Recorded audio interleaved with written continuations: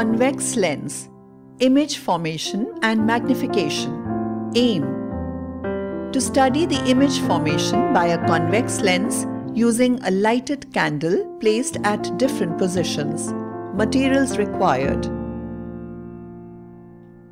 Thin convex lens, a lens holder a semi-transparent screen fixed to a stand, a meter scale, a small scale of 15 centimeters, a lighter, a small candle with a stand. Procedure As a first step, let us find the approximate focal length of the given lens.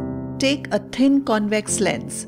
Place it vertically on a lens holder kept on a table. To determine the approximate focal length of the convex lens, Focus rays from a distant object, for example a tree, using a convex lens and obtain an image of the object on a screen placed on the other side of the lens. Move the screen back and forth to obtain a sharp and clear image. Measure this distance between the screen and the lens as the approximate focal length of the lens f. Let it be 15 centimeters.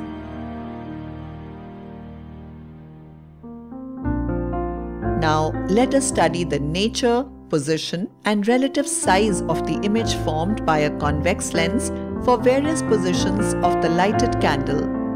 Mark the points f1, 2f1, f2 and 2f2 on either side of the convex lens.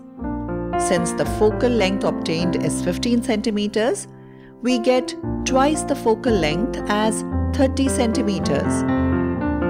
We will study the image formation of a convex lens with reference to these points. The five different cases are Case 1 Object beyond 2f1 Case 2 Object at 2f1 Case 3 Object between f1 and 2f1 Case 4 Object at f1 Case 5 object between f1 and optical center of the lens O. Note that for obtaining distinct and sharp images of the candle flame, it is advised to perform this experiment in a dark room or at least in the shade where no direct light reaches the working table. Light a candle using a lighter. Place the lighted candle on one side of the lens. The flame in this lighted candle will act as the object in the following steps. Perform this experiment in calm air to avoid the flickering of the candle flame. Switch off the fan while performing this experiment. Make sure the flame does not flicker and maintains its height h. The optical center of the lens and the center of the candle flame should lie at the same height. Measure the height of the candle flame h using a small measuring scale. Let it be 2 centimeters. Case 1 Object beyond 2f1. Choose the distance between the candle flame and optical center of the lens to be greater than twice the approximate focal length 2f obtained for the convex lens. Record this distance as object distance u in the observation table. Let us take u as 40 centimeters.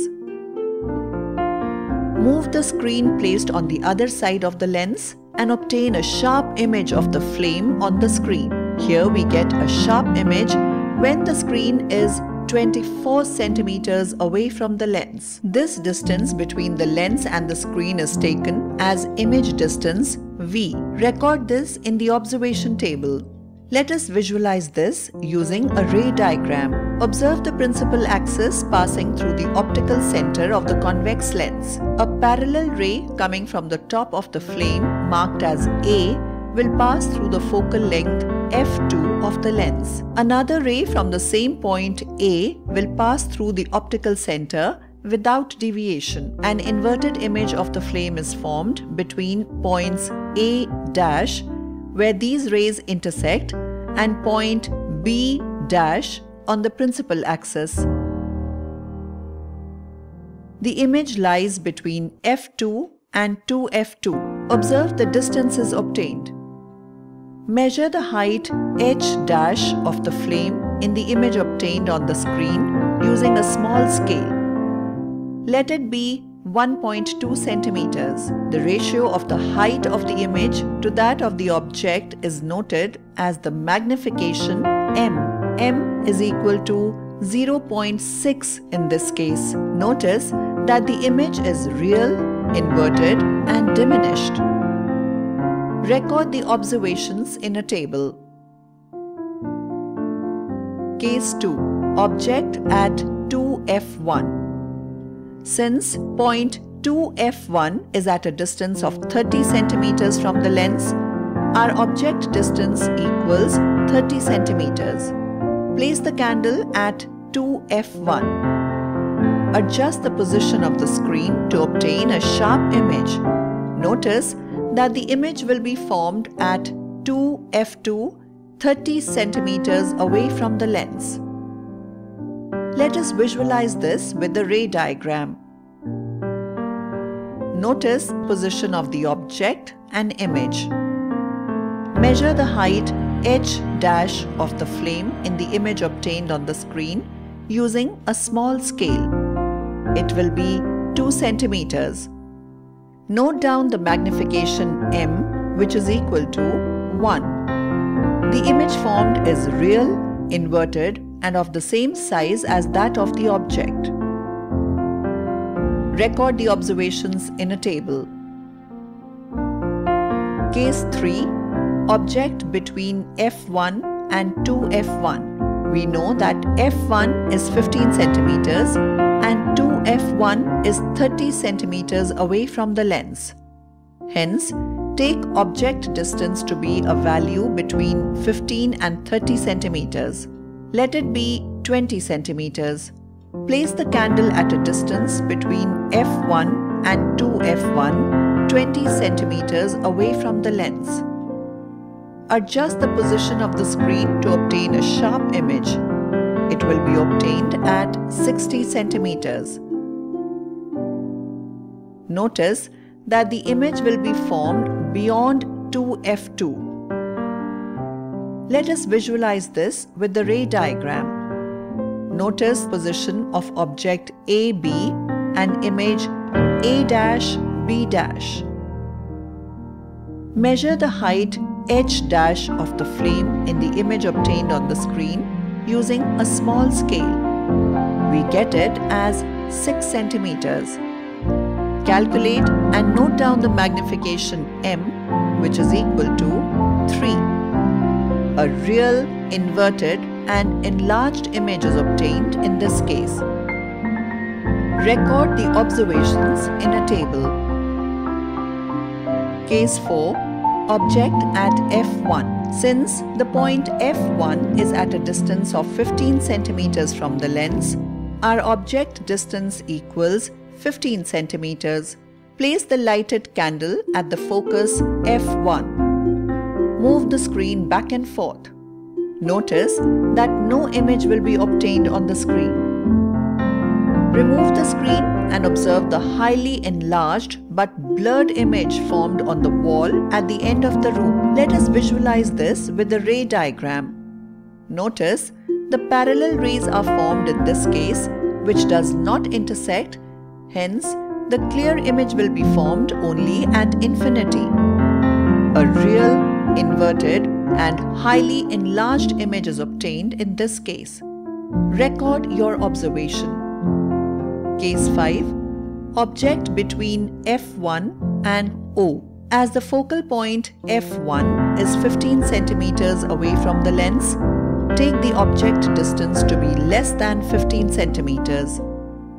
Let it be 9 centimeters. Place the candle at a distance between F1 and O. Let the object distance be 9 centimeters.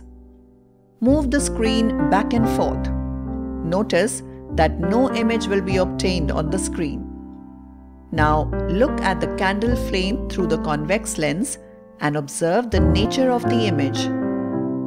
Note that the image formed is virtual, erect and magnified. Let us visualize this with the ray diagram. Notice that the rays are diverging and will not intersect.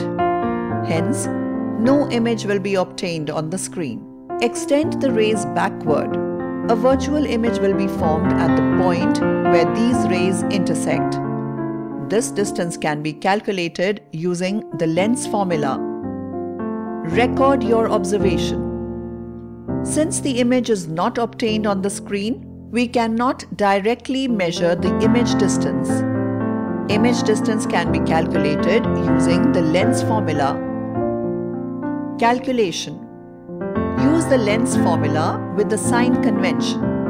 The positive value of magnification obtained using sign convention indicates the image is erect.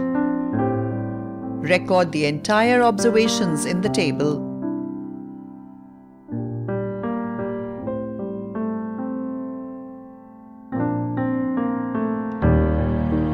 Results A convex lens can form real and virtual images. Real images are inverted, while virtual images are erect. Based on the position of the object, the image formed can be diminished, enlarged, or of the same size.